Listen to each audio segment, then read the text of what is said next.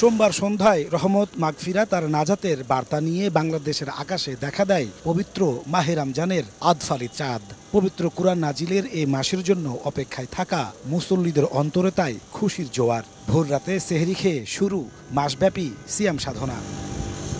সন্ধ্যা ছয়টা বাইশ মিনিটে বন্দরনগরী চট্টগ্রামের আকাশে প্রথম দেখা যায় রমজানের চাঁদ। একই সময়ে বান্দরবান বরিশাল খুলনা ও বগুড়া সহ দেশের অন্যান্য জেলার আকাশেও চাঁদের দেখা মেলে।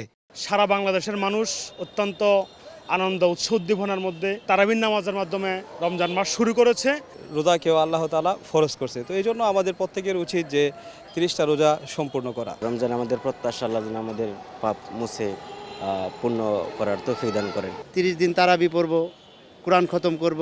ফিলিস্তিনি মুসলমান মুসলমানদের উপর একটা বর্বর হামলা চলছে আল্লাহ যেন তাদেরকে রক্ষা করুক। এর আগে জাতীয় মসজিদ বাইতুল মোকাররমের ইসলামিক ফাউন্ডেশন মিলনায়তনে বসে জাতীয় চাঁদ দেখা কমিটির সভা। সেখানে সভাপতিত্ব করেন ধর্মমন্ত্রী ফরিদুল হক খান। পরে সাংবাদিক সম্মেলনে চাঁদ দেখার আনুষ্ঠানিক ঘোষণা দেন তিনি।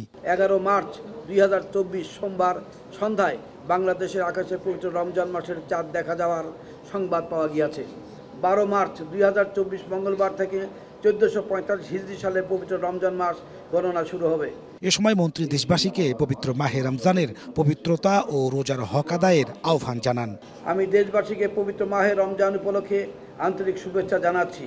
মহান আল্লাহ রাব্বুল আলমিন আমাদেরকে ডেঙ্গু জ্বর সহ অন্যান্য মহামারী ও প্রাকৃতিক দুর্যোগ থেকে হেফাজত করুন।